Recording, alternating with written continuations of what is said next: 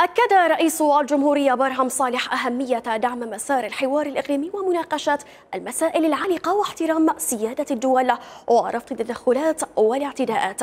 جاء ذلك خلال لقاء نظيره التركي رجب طيب أردوغان على هامش اجتماعات الهيئة الجمعية العامة للأمم المتحدة في نيويورك بحسب بيان لمكتب صالح والذي ذكر أن الرئيسين بحثا تعزيز العلاقات بين البلدين في مختلف المجالات.